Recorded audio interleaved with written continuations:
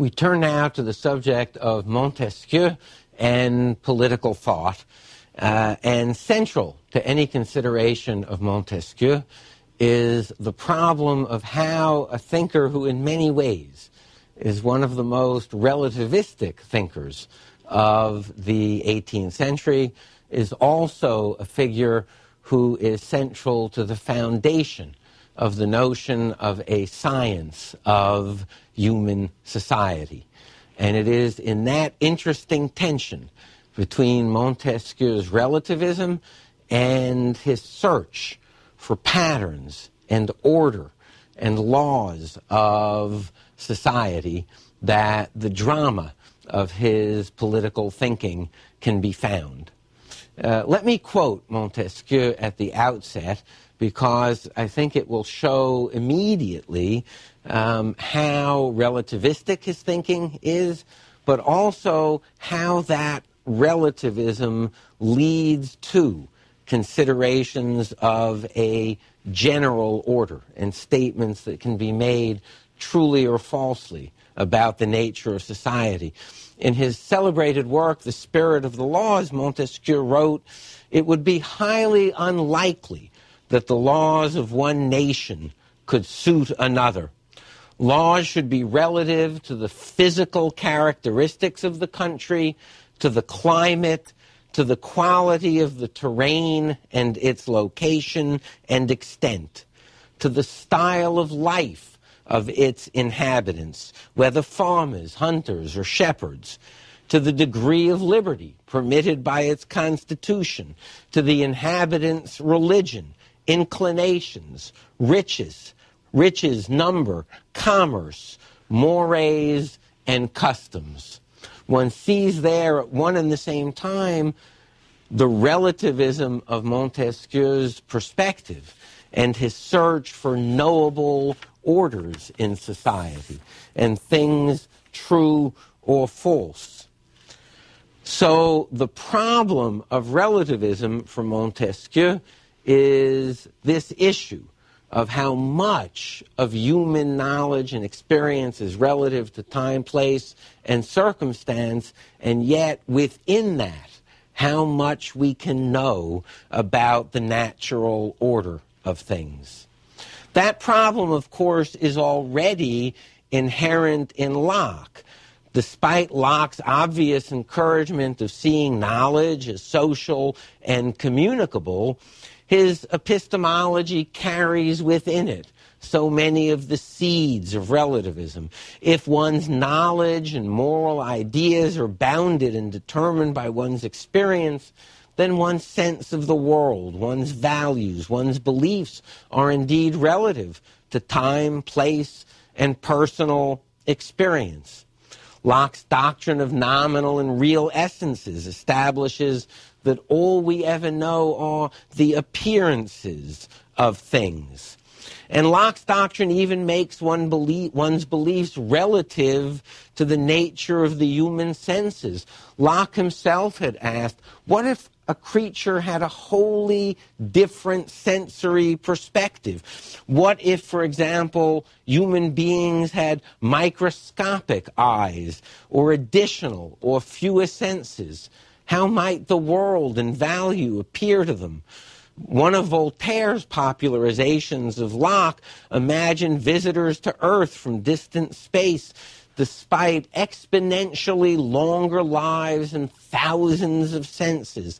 They lament their ignorance and how bound they are by their relative lack of knowledge.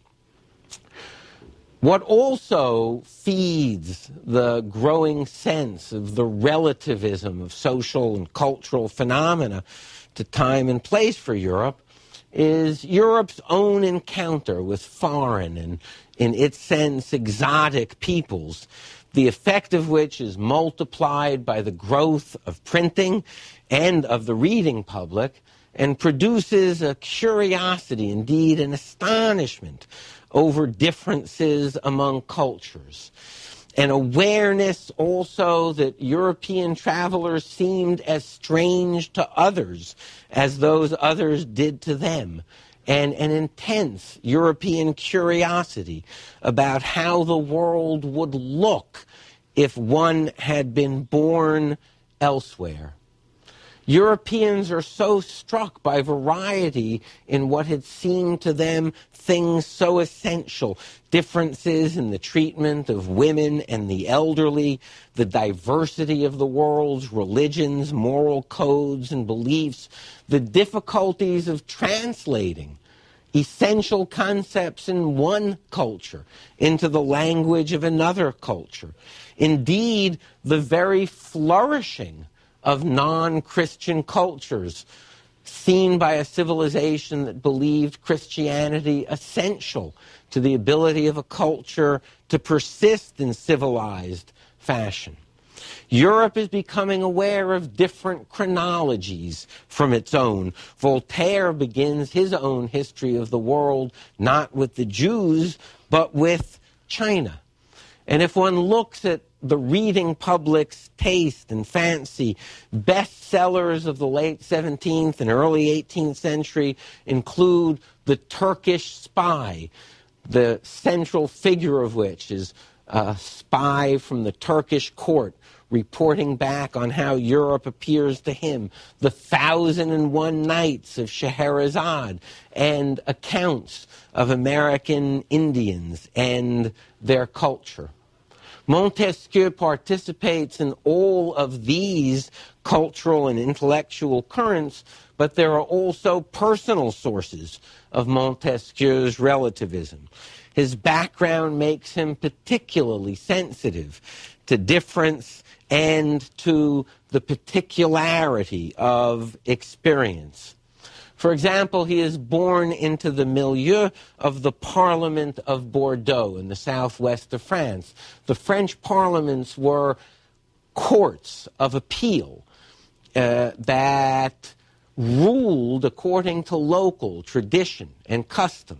And no edict of the king was law in a region, a province of France, unless registered by the parliament as consistent with that region's own traditions.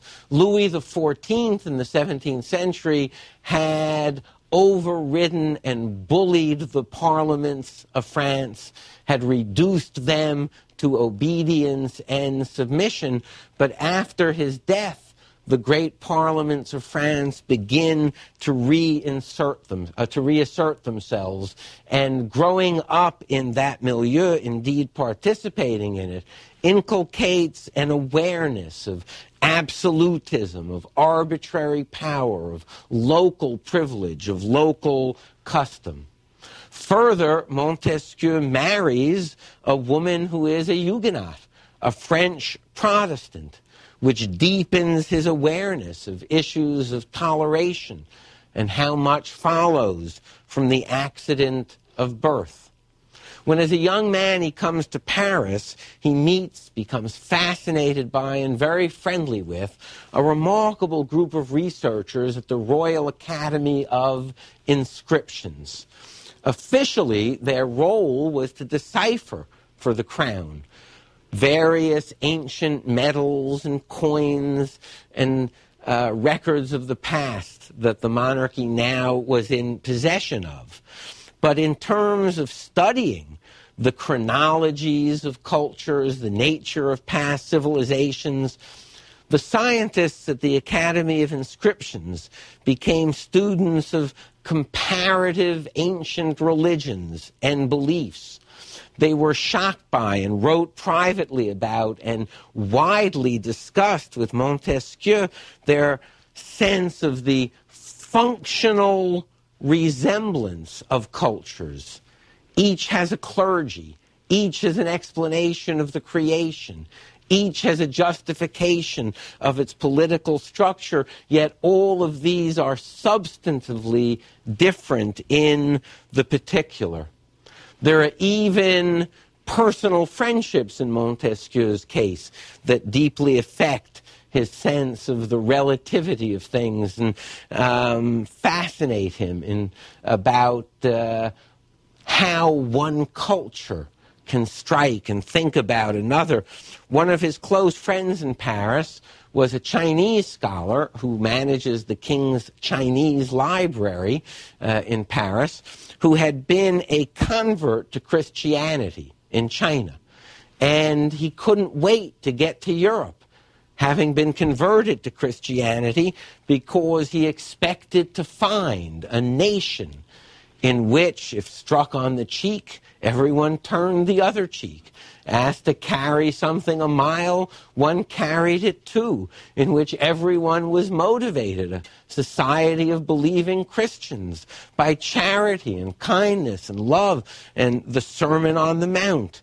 Um, he was, it suffices to say, quite astonished by what he discovered. And his astonishment raised very deep and fascinating, intriguing questions for Montesquieu about how is it, in fact, that belief and practice can so diverge, and how odd that must seem to someone coming from another culture. In the 1720s, building on all of these experiences, Montesquieu bursts upon the literary and intellectual scene uh, in France by publishing a work called The Persian Letters, a work that enjoys uh, an extraordinary literary success. The structure of Montesquieu's Persian letters is an epistolary novel in which Persian travelers, creations of Montesquieu, see France and the West through Persian eyes and write back to Persia and to each other about their experiences. This structure gives Montesquieu great freedom to comment both on his world and to deepen his reader's sense of the relativity of belief to time and to place. In the substance of the Persian letters, Montesquieu uses relativism to great satiric effect. His Persians look at the Pope, the king, nobles, and bishops through Persian eyes with no European, French, Christian preconceptions. And their comments shock and titillate a French audience. Uh, the Pope is a magician. He makes people think that three is one, the doctrine of the Trinity. Um, the king is even a better magician. By debasing the currency, um, he can make people think that 10 is one. Uh, and the bishops are people who gather together to make laws of the church and then separate to sell dispensations to those. Um, that's how it looks through Persian eyes. It also raises the humor and the deeper question of ethnocentrism. A Frenchman discovering that one of these travelers is in fact a Persian says to him, But how could anyone be a Persian? Um, an ultimate expression of ethnocentric relativism. But Montesquieu is above all concerned with the deepest questions of relativism. What is, in fact, relative to time and place in human affairs, and what is natural and absolute? Montesquieu wants to know and distinguish between what is malleable, plastic, changeable in human life, and what, in fact, is common to all human experience. He looks at this through several lenses. One in terms of politics, where the Persian letters reveals an extraordinary variety of systems of power, and in particular, systems of despotism relative to time and place, unbearable. The circumstance, for example, of uh, French women would be unbearable to the Persians, the circumstance of Persian women unbearable to the French, and yet Montesquieu will write beneath all that there is a natural law of liberty that revives whenever despotism is loosened. Louis XIV dies, and France comes alive again in claims and aspirations. The ruler of the Persian harem leaves, and his terror leaves with him, and his wives rediscover their natural liberty. Montesquieu looks at this in terms of the varieties of ethical codes in the world, which really are quite striking in their multiplicity, and yet there is a reality of natural consequences. Nations may adopt various moral codes, but nature determines whether human beings can live together and survive and perpetuate a society with this or that given code.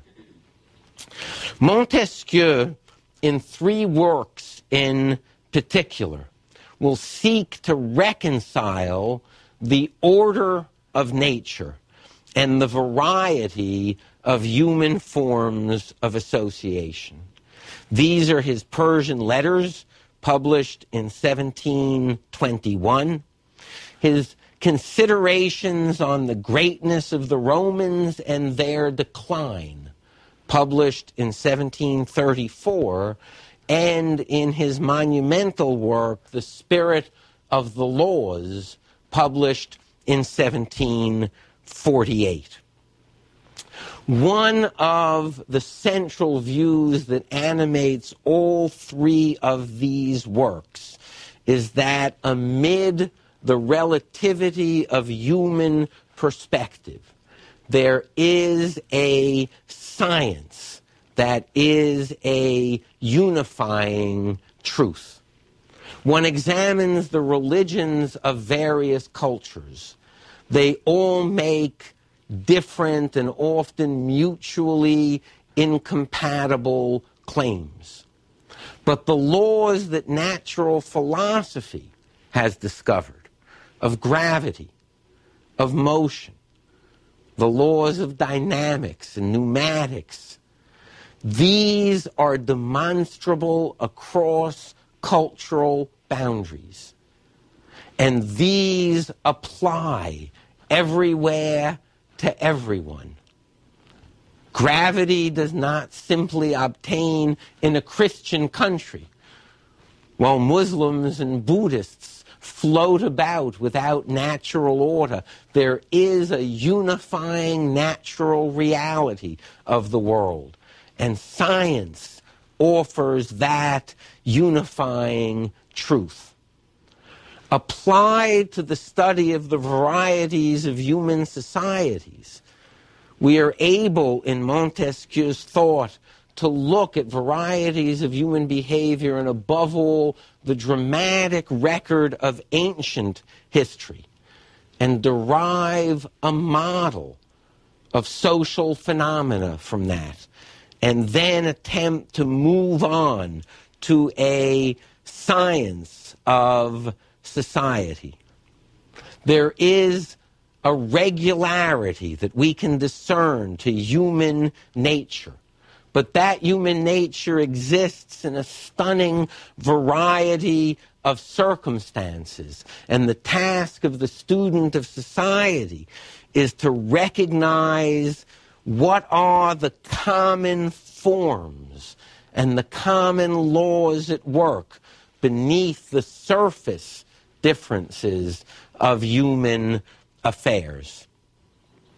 Montesquieu strikes out in very bold, original directions when he decides to classify the essential varieties of human political association, not by their structure of power, but by what he calls the spirit that animates them, the spirit that is essential to their existence.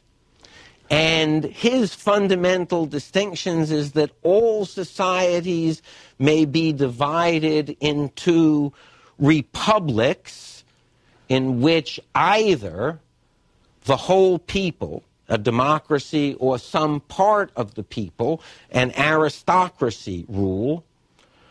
Monarchies, in which there is the rule of one man guided by law and by custom and by intermediary institutions of power, and despotism, in which human beings are governed by the will and caprice of a single individual with absolute dominion over their lives.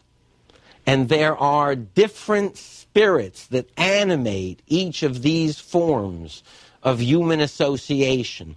Essential to republics is virtue. Without virtue, there can be no republic, a concern for the common good, a concern for the business of the public, the res publica, the republic itself, the public business.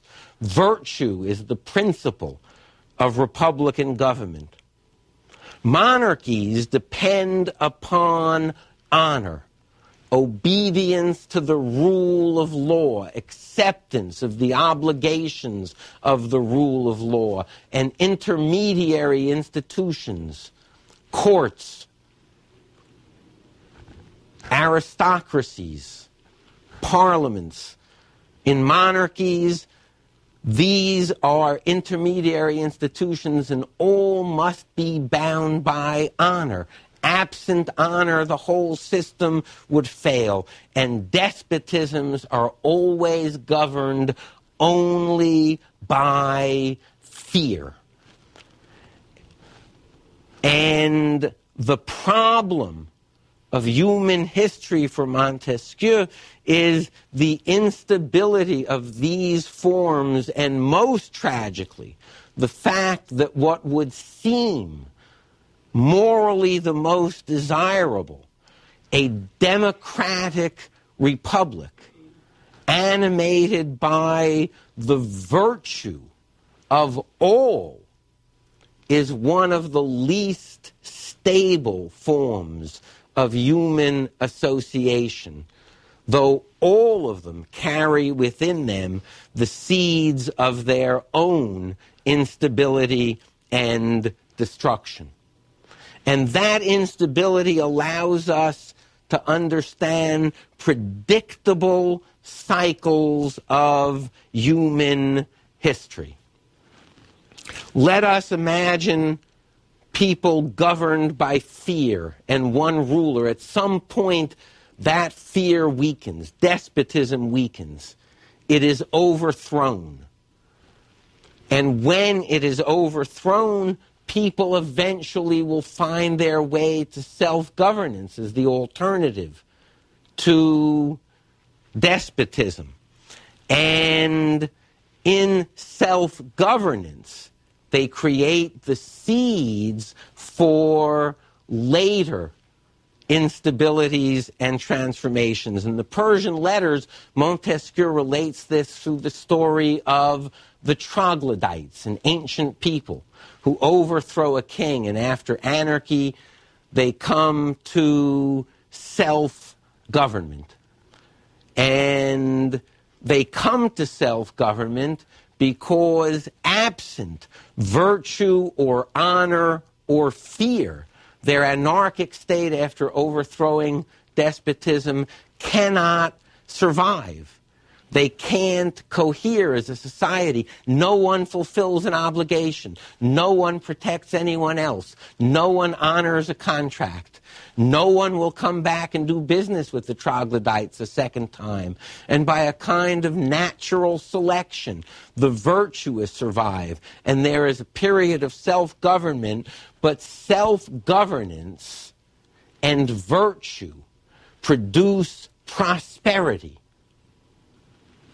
Free, virtuous people prosper. But prosperity produces selfishness, avarice, greed, a laziness about the public business. And the troglodytes seek a king who says, I will be bound by your laws, but this is the saddest day in history. You are no longer virtuous enough to govern yourselves. And predicts the cycle that will lead back to despotism. For Montesquieu, this is the case of Rome as well. The virtue of the Roman Republic made it the most formidable force. It defended itself so successfully, and then it conquered. And as it conquered and increased in size and militarism and wealth, it lost the virtue that animated the republic, which could not sustain itself, leading to the cycle of monarchy and then to despotism. In the spirit of the laws, Montesquieu asks the question, but historians tell us again and again that there is so much chance, so much contingency to history. That's true, he asks. I mean, he answers.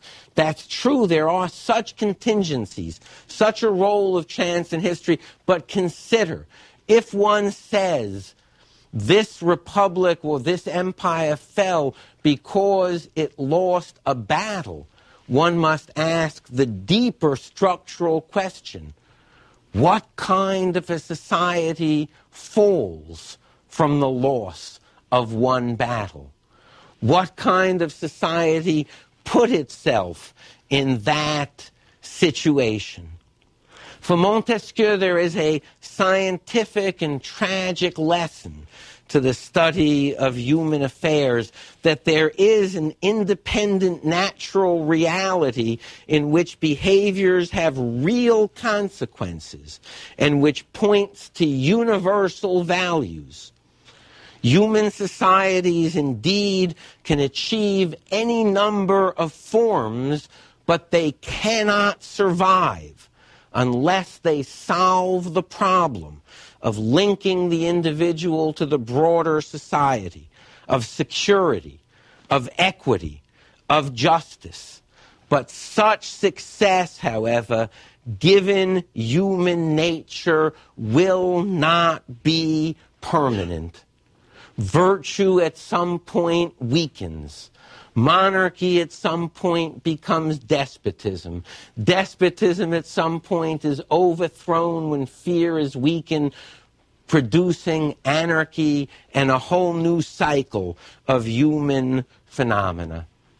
Despotism is a problem in particular that quite obsesses Montesquieu all cultures in general, and power in particular, assume that their particular forms of association are natural and never see despotism in their own behaviors. Uzbek, the Persian traveler of the Persian letters, sees all the despotism that exists in France and sees his own absolute authority over eunuchs and women in the harem as completely natural. But despotism is an awful thing. It is the subjection of one person's life to the whim and caprice of another's will. When the despot is unable to exercise terror, freedom reasserts itself against arbitrary will. Only terror can make despotism seem stable and permanent. How can one overcome this tendency toward despotism in human affairs? For Montesquieu, there must be rights and law without anarchy. There is the goal rights and law without anarchy. And secondly, to correct the tendency of every form of power to degenerate, there must be a separation of powers. The ideal would be to have a popular power an aristocratic, a senatorial power, a monarchical or executive power, but separated, each acting as a check and balance upon the other. With that phrase, one can understand full well the influence of Montesquieu upon the American Revolution and the founders of the American Republic, who indeed read Montesquieu with extraordinary passion and attention. They found in there a naturalism that it was the task of the founders of this new republic to learn from nature, to learn from the past, not to idealize man, to project checks and balances, to know that they were under the necessity of mutual restraints upon centers of power so that each might prevent the degeneration of the other. But they knew also full well that any experiment in self government depended in the final analysis upon virtue, and that absent public virtue and respect for law, nothing on paper could be permanent or indeed even stable. Thank you very much.